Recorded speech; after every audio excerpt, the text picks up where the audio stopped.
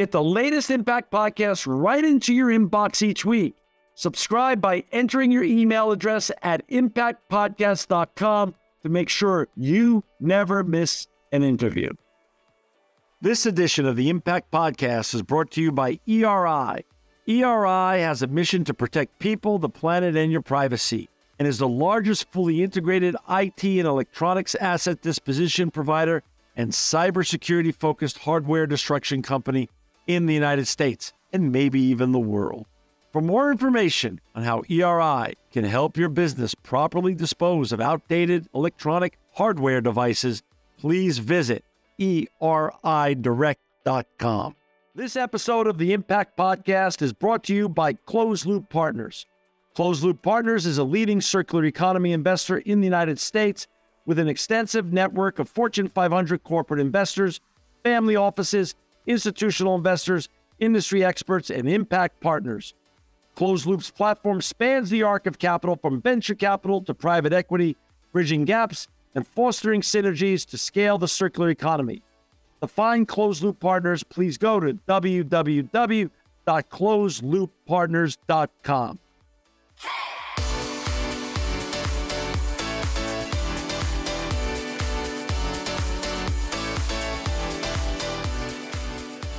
Welcome to another edition of the Impact Podcast. I'm John Shegerian. I'm so honored to have with us today Peter Soelkner. He's the managing director of Vetter Pharma. Good, hello, Peter. Hi, John.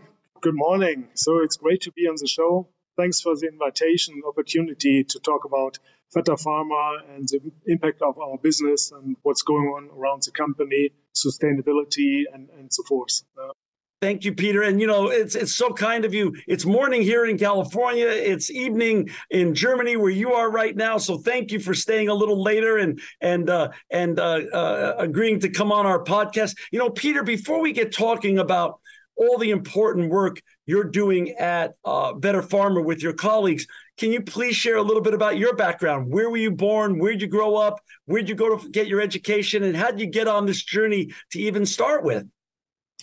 Uh, even though I do not look a day over 30, but um, I'm 50, 57 in the meantime. And uh, so I had been around the block quite a bit in this industry. So I started my career early 1992 with uh, Sartorius.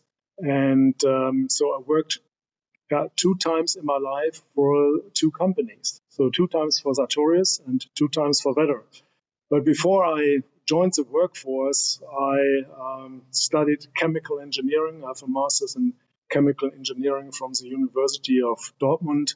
And later on, I had the opportunity to get my MBA from Columbia University in New York, which was a fantastic experience to do that in the United States. So collectively, I used to live in the States for almost 19 years wow. uh, flying crisscross the ocean all the time, working for um, uh, German headquarters um, in, in uh, with Sartorius. It's, it's, the same thing as for Vetter.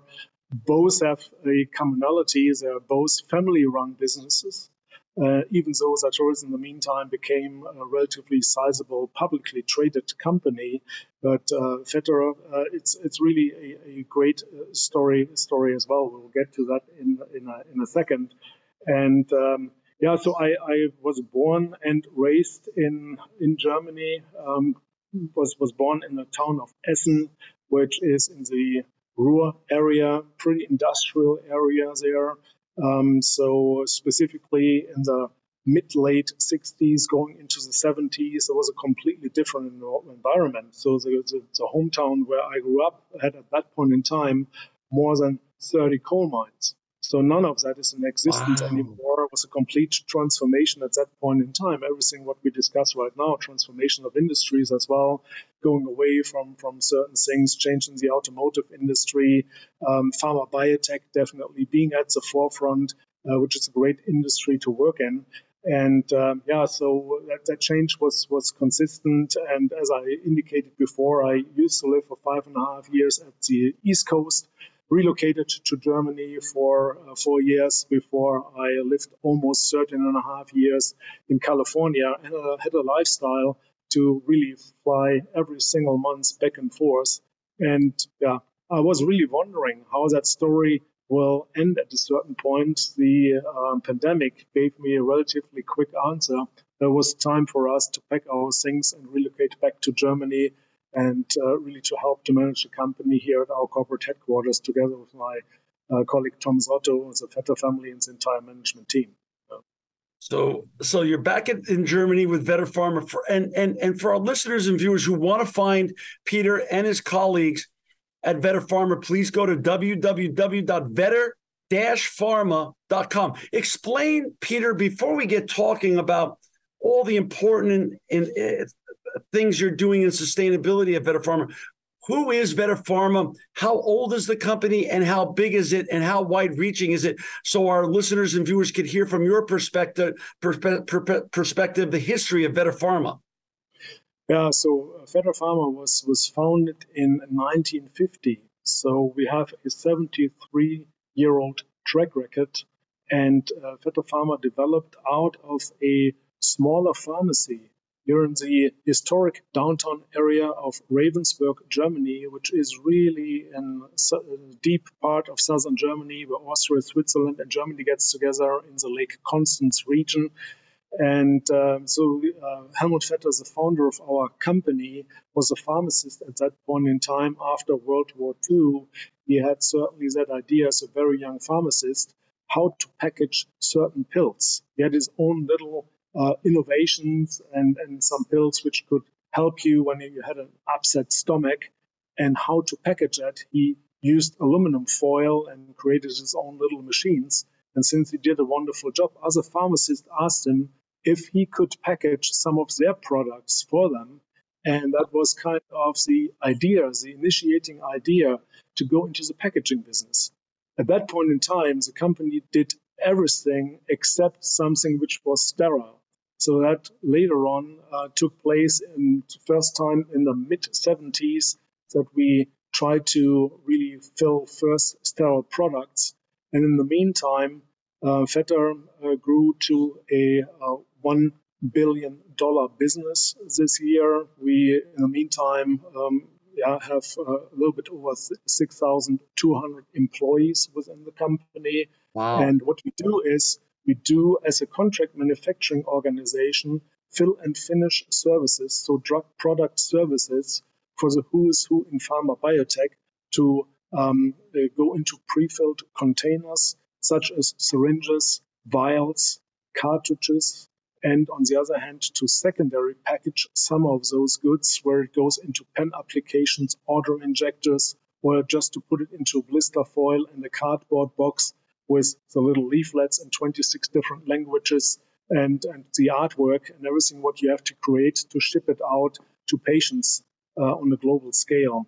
And we t- when we talk about high value biopharmaceuticals, so we are definitely not in the over the counter drugs. So usually, if you need a product which is filled by Vetter, we have some some serious topics ranging from oncology products such as cancer products um, we have uh, products uh, in, in our portfolio um, in, the, in the orphan drug arena, so relatively rare diseases. Only a couple of thousand patients around the globe are suffering from these type of diseases, but that can really uh, range from from uh, certain uh, neurological disorders to um, children's Alzheimer's disease. There is such thing that even in the age of one to three, uh, that can be observed, and there are drugs on the market. There is a specific drug on the market which can definitely cure this type of disease. You find us in um, uh, rheumatoid arthritis, so autoimmune diseases, multiple sclerosis applications, and, and so forth. And uh, we work actively with the who's who in pharma biotech, with all the big 20 pharma and biotech companies as they are listed according to their market capitalization, as well as small starter companies. Sometimes you have smaller companies.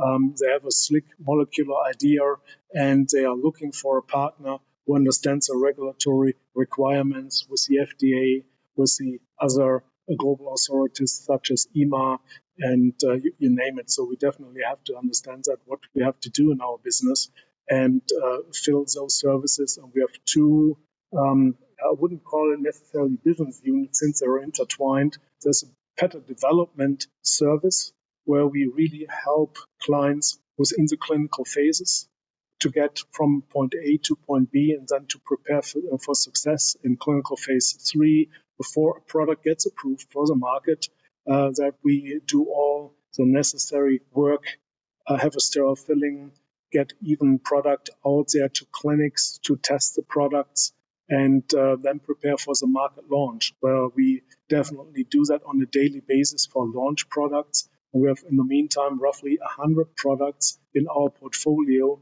what we ship uh, around the globe. And you will not find us uh, on any of the packaging formats. We are strictly in the business to business environment. But uh, yeah, the pharmaceutical and biotech industry knows us quite well. That's wonderful. And you know, um, I see some of the products. Are those some of your products right there by your by your elbow? This is some of the yeah. So, so just you know, so that, that maybe our, our viewers have, have a rough yeah. idea. So this is this is here one of the Vetter specialties, a so-called dual chamber syringe, where you have a lyophilized part of the drug substance in this piece and the diluent. So basically, which solves this lyophilized piece prior to the point of use so you have a little bypass, and uh, basically by mixing those two substances before you get it into the patient, you um, basically dissolve those those molecules uh, again, and uh, or that that is basically a another syringe format. It's a 1 ml format. You have um, under this cap here is a tamper evident cap, what you find over here, and um, you can basically attach a needle with a Luer lock combination. So some of that I've seen that definitely at the doctor's offices how you do that, and then inject it into the patient. This is another format, a so-called vial, a little glass flask, which is sealed by a rubber stopper and a crimp cap, uh, which is uh, right. out of aluminum with some plastic and so forth. So that is usually used in clinics, an oncology product for cancer, for example, oh. where a medical professional would apply it to a patient. Uh, that that would be kind of a typical format. Here you find, uh, for example, so-called cartridges. So the cartridge itself goes into an injector, an auto injector, so a device where you can just push a button and inject it into the patient's belly, for example. In the home care market, it's uh, quite effective. So uh, it's probably best known from insulin applications out there for diabetes patients, but that is utilized for infertility as well. So if really families uh, cannot get really a baby and, and really need a specific hormone treatment over a certain span of time, that would be kind of a typical application here uh, including uh, growth hormones as well. If you if people have, for and specifically children, have growth disorders, that comes into play, and it comes in all kinds of formats here. You see that with the little vials, you know, and have even bigger ones up to 50 milliliters. So that is really the smallest format here, and everything in between. And Vetter entertains one of the most complete portfolios in the market uh, to deal really with the uh, different um, formats from syringes to vials to cartridges. On the other hand, it is almost irrespective what type of glass is in the middle or what type of device uh, we are usually um, yeah, taken into, into, into the whole project as a specialist to handle complexity. But in the meantime, we really have to deal with uh, very complicated formulations and, and really very sensitive molecules as well. And how to do that, how to get it sterile, uh, into a syringe. Um, there's another great example. What comes to mind? We have, for example, products in our portfolio for age-related macular disease. Mm. Uh, so, if not treated, the patient will go blind, and you have to inject into the glass body of the eye a monoclonal antibody. I know that's a whole mouthful of what I'm just saying, right? Uh, but it has a viscosity of honey. Yeah? So it's and and really every droplet counts. You have to have an extremely high dosing accuracy. Right. On the, on the other hand, it has to be sterile. If it is not sterile, the patient will definitely lose the eye, and every little particle which is in that syringe would swim lifetime long in the glass body of the eye. So these are really the, the type of, of um, uh, high quality applications we, we try to get to the market. And I think it would be fair to say without Vetter, some of those products wouldn't be on the market. So that's where we became really a specialist in that in that field and really tried to play there in the Champions League, in lack of a better term. So to be among the best in the business out there uh, without really bragging, but I think that's not an exaggeration. But uh, we are quite good in what we're doing. So, among other things, you guys are experts in efficacy. Efficacy matters in what you do. Uh, you know, precision and efficacy and quality really matter. Um, you know, which brings me to another topic. I mean, Germany is known for quality of everything you manufacture in Germany. Your company's 73 years old now. My experience in my travels is Germany and other parts of Europe have been way ahead of the United States and other parts of North America and other parts of the world, frankly, on on this uh, culturally speaking and socially speaking, uh, with sustainability. You've been way ahead of us. It's a generational thing, it's baked into your society. Talk a little bit about when it became part of the DNA of Vetter Pharma during the 73 years that Vetter Pharma has been in existence. When did sustainability become a part and parcel of your offering? Well, if, if we talk about sustainability in the meantime, in the political discussion and everything what we talk about today in the social media, it gets sometimes confused with just CO2 carbon dioxide footprint. However, yes. sustainability, as we see it here at Vetter, uh, is really going with the UN Global Compact, which uh, goes with 17 different disciplines, which really entails uh, ecology, economics, and the social aspects of sustainability. And if you really take certain portions out of those 17 um, um, topics, certainly in the 1950s when the company was founded, uh, we were not really discussing uh, carbon dioxide footprints. However, it was always a family run business Right. was always this, this, this Swabian area. We, we call it uh, Upper Swabia here, that part of Germany where we are. And those folks, they are well known that they're pretty frugal or efficient, however you want to call it. So with that said, so that it's it's really in the DNA of the company, it's in the DNA of the region. It's really where uh, people still on Saturdays swipes the streets with a, with a broom and that is definitely um, pretty pretty good um, to run a sterile business in this type of environment. Um, uh, so from from from that standpoint, yeah, it, it, had been really in the DNA of the company. On the other hand, um, we we always try to be at the forefront when it when it comes to uh, the uh, ecological aspects as well. So we had really a, a task at hand where we built um, almost 13 years ago when we start to break ground for a new warehouse and competence center for visual inspection, which is a massive building.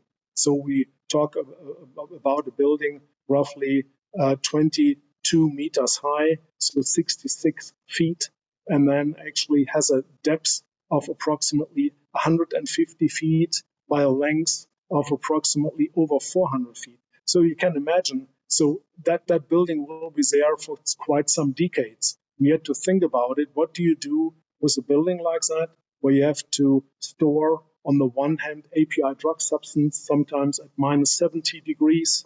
You have um, really fill product, 2 to 8 degrees centigrade. You have huge spaces in terms of warehousing. Um, you have a vast majority where you do visual inspection, where you need climate control as well. So what do you do with a building like that when you build it?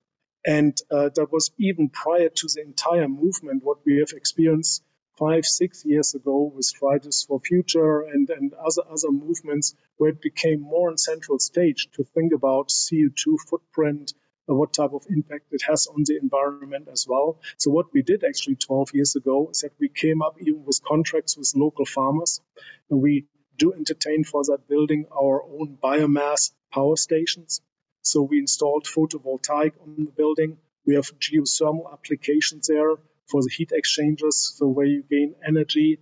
And on the other hand, we decided with the company, and I'm happy to report that uh, in the meantime, all the electricity we get to the building is uh, actually um, uh, f- from from hydropower, since we have the Austrian Alps relatively close by. So we're in an ideal situation to entertain that. So with that said, uh, we became in 2021 CO2 neutral within the company. Wow. And uh, yeah, so we were definitely at the forefront of that. But it's really a journey what you what you entertain there. And Yeah. it's never a complete journey. As, as good as you are, it's the same as, as in sports. Yes, you're great, 100 meter dash, world record, but that really doesn't mean that you cannot run faster. Yeah, and you have to at a certain point in time because you know the, it's uh, yeah. I- think um, a task we, we all have to have to entertain as an as an industry.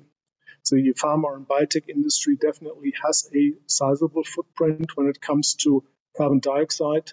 Uh, so uh, we always have to find a compromise here as well, um, since we are bound by regulatory requirements.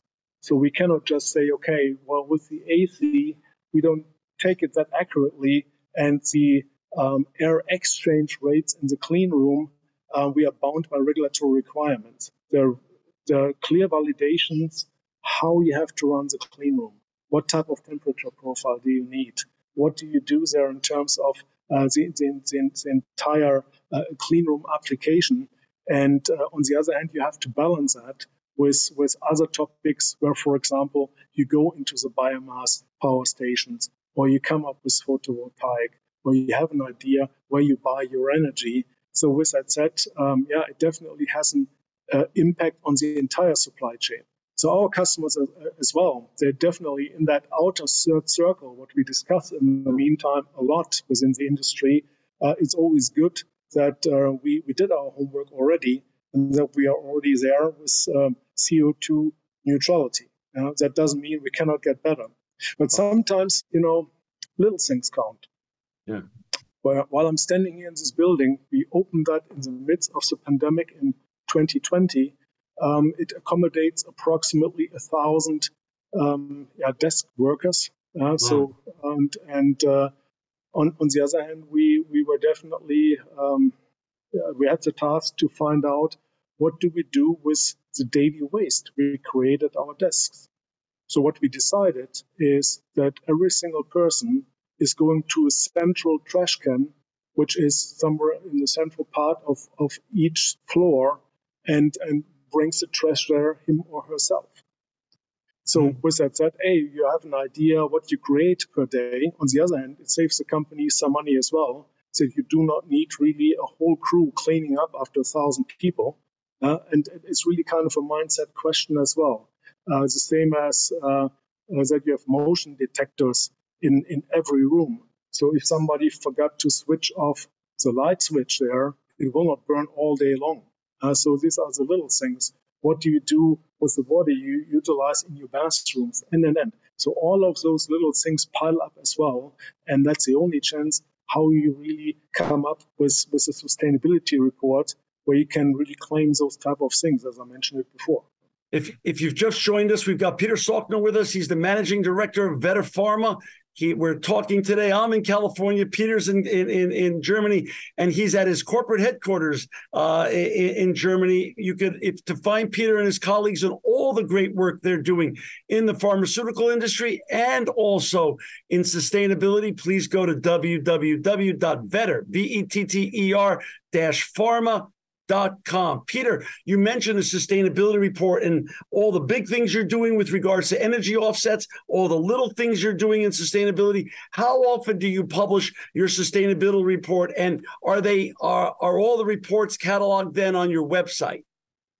Uh, yes. So the first time when we came up really with a full-fledged sustainability report, um, it's uh, and that that almost is um, a, 70 plus pages was uh, last year in 2020 uh, it's a 2021 report so we just Right. published the 2022 report 2023 will be done in the makings so there are two reports and they're on the website on the other hand we only printed a couple of leaflets which are six pages strong uh, with a QR code, which really gets you to the 70 and 80 pages. So we had to really save the German forest a little bit, you know, talking about sustainability. You Right. cannot just print a sick report.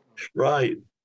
Um, Peter, in, you know, in your industry, packaging matters uh, nowadays, especially since um, sustainability has become a bigger thing, not only in Germany anymore, in Europe, but around the world. This whole issue of sustainability and the shift from this uh, linear to circular economy and ESG principles have all really become institutionalized with regards to the investment community, um, uh, Wall Street, analysts, and also your constituents and clients who get to enjoy your products.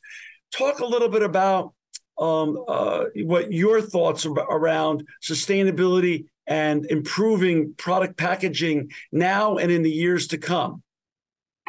Yeah, what we definitely see a trend uh, together with our customers in in secondary packaging.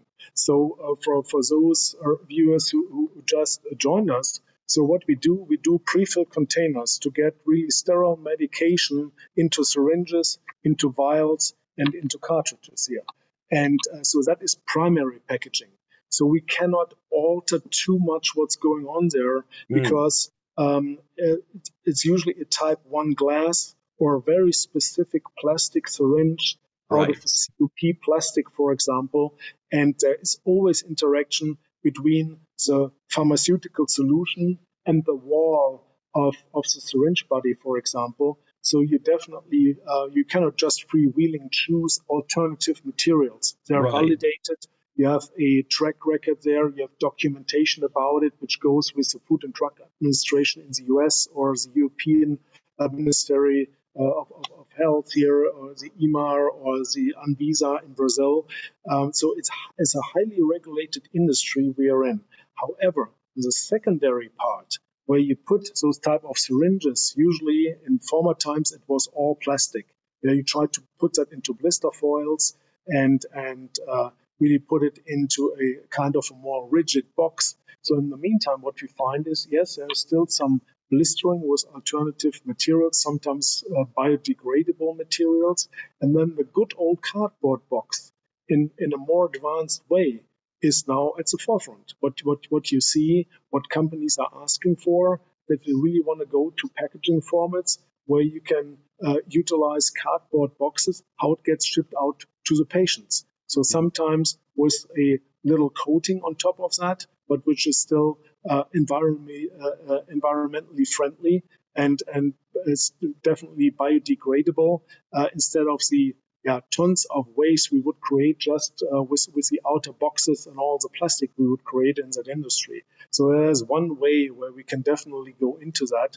On the other hand, sometimes when it comes to auto injectors, um, um, it's um, sometimes hard to uh, justify to go to applications where you can use the same injector again and again. Sometimes you have that for patients who get the same consistent medication every single day but uh, for some of them, it is just a couple of shots they do need. And uh, yes, uh, it goes into plastic.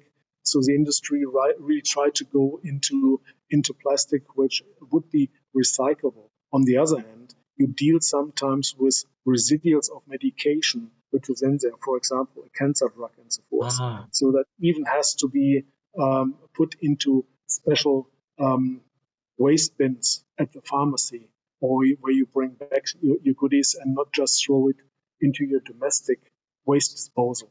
Uh, so that, that that is something which is uh, quite quite special. On the on the other hand, um, it, um, it, it it starts with with uh, smaller topics as well. How how you get um, all your goods you bring to the clean rooms and so forth. The outer packaging there. Do you have a waste disposal concept?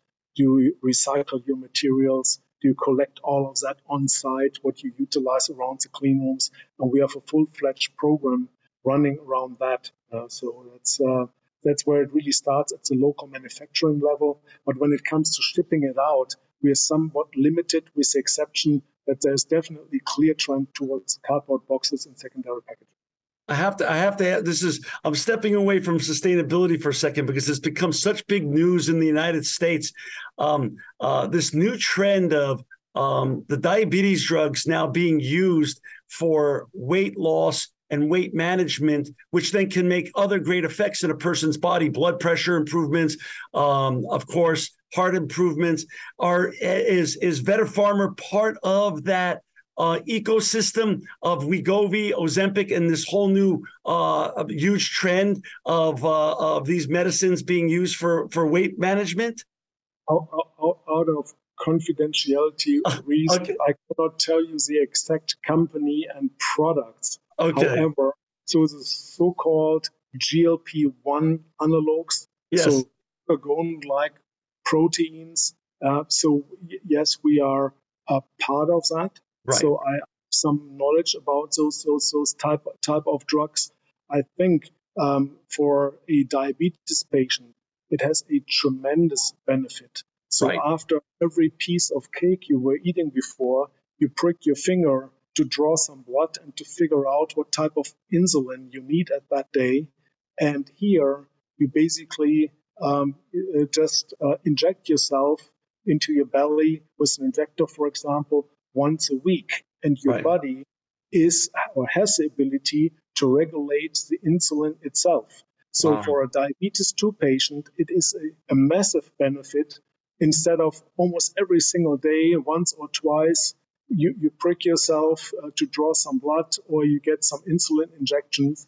And forget that now on a GLP-1 analog basis, where you have that application once a week, is huge. So right. now as a side effect and benefit, what came out of the clinical programs, it uh, showed that people have a weight loss 10, 15% of their body weight, um, which uh, can be certainly a huge benefit for really obese people. Uh, so have, for whatever reason, has some psychological effects or the metabolism doesn't allow them really to uh, co- completely um, reduce the weight in a, in a meaningful way. Uh, there it certainly has a benefit when it comes to cardiovascular diseases or other side effects which come really with massive overweight.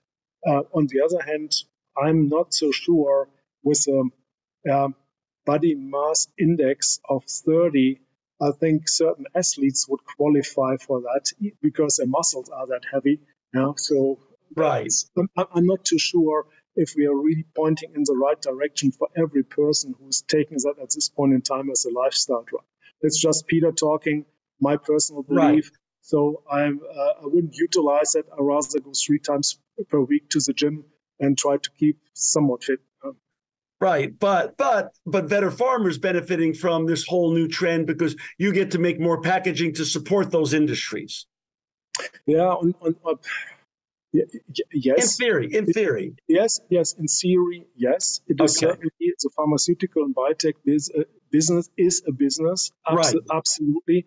Right. Uh, on, on, the other hand, uh, we, we certainly take some ethical pride as well. What what what we manufacture that is really meaningful, that it really makes a difference in people's lives, that can right. be really life changing or life saving, even with right. some of the medications we manufacture.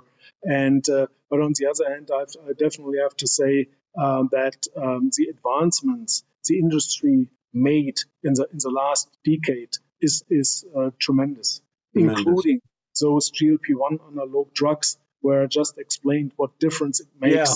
Somebody who's suffering from diabetes too, huge patient benefit there. Right, right. Yeah. But back to sustainability. You know, Peter, you've done a made a great case for everything important that Vetter Pharma's working on. You're working on big things such as energy offsets and becoming carbon neutral. You're doing small things like in the in the beautiful new office tower that you launched a couple years ago in terms of waste management and and the shift to the circular economy. You're working on packaging. What are what are some of the initiatives that you're allowed to talk about that are most exciting about you that you that are coming in the future? Because as you well said, and, and our listeners and viewers have come to know, sustainability is truly just a journey. There's no finish line. We can all be better. We can all be better as individuals and as corporations and as organizations.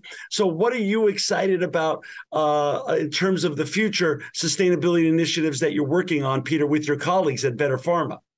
Yeah, so uh, it's, it's, definitely to um, even by uh, I'm, I'm just looking to, to the other side here, outside of the window of, of our little foyer here. Um, to a brand new manufacturing building, which will accommodate uh, four additional filling lines, uh, where, what we have under construction. And by just thinking about how you construct such a building, how do you have your energy streams there, what is the layout, how do you do that, what type of, of materials do you utilize, and, and so forth, has a massive impact already in the, in the building phase. And, and certainly you cannot really ask for great results after you didn't really do the work from the design phase on when you when you come up with with uh, with with, with, with the growth of the company. And it's definitely fair to say that we are massively investing into additional buildings we're expanding our business we have to prepare for success we have over 200 projects uh, in the pipeline uh, together with our customers in the different clinical phases. As you know, not every clinical phase material will be a commercial success and will make it to the market. But there will be a vast majority of products which will be launched at a certain point in time, and we have to prepare for that success. So it, it is an expanding company. We have to think about really how we create our, our factories. What do we do in terms of the building layout? On the other hand, what we have launched as well, and it doesn't stop there, are really initiatives that we um, in, um, have that kind of bike uh, to, to work initiative. And in the meantime, over two and a half thousand of our colleagues um, got to lease uh, on, on, a, on a really uh, economical basis uh, bikes. They ride to work. Uh, we have charging stations here. We, we basically have um, a whole stable of, of uh, where, where you can really put your bike underneath a roof and which is which is highly modern and so forth. So specifically in this environment where we do not have really great public transportation. That is different in the bigger German cities, but it doesn't hold true here in the more rural areas. So, uh, but it's still remarkable that a vast majority of our staff shows that route and that they are biking to work, that they do these type of things. On the other hand, um, they, sometimes when we talk about sustainability, as I mentioned it before, uh, we do not take really social aspects too much into consideration. Mm. So, so now for the tenth year, so we just had uh, a little anniversary there. We have the so-called Vetter Kids initiative. So what do we do? So kids here in, in Germany is the same as in the US, but it's a little bit different spread out here, have 13 weeks of vacation, while their parents look on five to six weeks of vacation. So with, with, with that said, there's a misfit. What do you do with your children when sometimes, you know, um, schools uh, have closed their doors and, and so forth, or with the little ones? And we run every single vacation a, a great program where we have kids camps where, where you can really uh, go for the teenagers into IT classes, English courses, or for the smaller ones, really where they're more playful. We have a soccer camp, we have a tennis camp. You can go to Lake Constance and learn how to sail a boat and so forth. And we, we sponsor that um, big time from our company, take care of the community. Uh, we encourage even with, uh, with gym passes here, where people can get that for a relatively small dollar um, to utilize all kinds of gym facilities in the environment and so forth to keep themselves healthy and fit. And, and we have all kinds of programs supporting our staff. So last year we had actually um, the opportunity um, that we got an award, the um, Sustainable Impact Award um, here in, in Germany, uh, with an impact on employees. So, which was another aspect of sustainability. Uh, to have a, to be CO2 neutral is one thing, but to see more all-encompassing according, uh, according to the UN Global Imp- uh, Com- uh, Compact, that is really the name of the game. Because without a sound understanding, with a change of behavior within your staff, you will not achieve those type of things. It's true. That's true. As you said, it's ecology, economics, and social. It's not just like you said, you know, it's like you said, it's not just about, about decarbonizing our companies and our society. It's so much more. There's a holistic approach to sustainability that obviously Vetter Pharma has adopted and is and is uh, accelerating. Absolutely. Well, look, look, Peter, thank you so much for staying late. I know it's it's it's it's it's we're we're nearing seven o'clock p.m. in Germany. Uh, it's just the morning here in California, and because sustainability is a journey, uh, we want you to continue to come back on the Impact Podcast and share the journey of sustainability in sustainability at Vetter Pharma for our listeners and viewers to find Peter and his colleagues and all the important things that they're doing at Vetter Pharma in terms of making products that not only change lives, but potentially making products also that save lives and also all the great work they're doing in sustainability and, re- and read their uh, sustainability reports. They're on their website. You could go to www.vetter-pharma.com. Peter Soelkner, Thank you so much for your time today. Thank you for all the great work you're doing in the pharmaceutical industry and making us healthier people around the world. And also, thank you for the work you're doing in sustainability and making the world just a better place. John, thank you so much for that opportunity that we could present a couple of things, what is happening here in, in the central part of Europe at Vetter Pharma was really fun to be on your show and hope I have the opportunity to talk to you soon and to report about our progress. Thank you so much. This edition of the Impact Podcast is brought to you by Engage. Engage is a digital booking platform revolutionizing the talent booking industry. With thousands of athletes, celebrities, entrepreneurs, and business leaders, Engage is the go to spot for booking talent for speeches, custom experiences, live streams, and much more. For more information on Engage or to book talent today, visit letsengage.com. This edition of the Impact Podcast is brought to you by ERI. ERI has a mission to protect people, the planet, and your privacy, and is the largest fully integrated IT and electronics asset disposition provider and cybersecurity focused hardware destruction company in the United States and maybe even the world. For more information on how ERI can help your business properly dispose of outdated electronic hardware devices, please visit eridirect.com.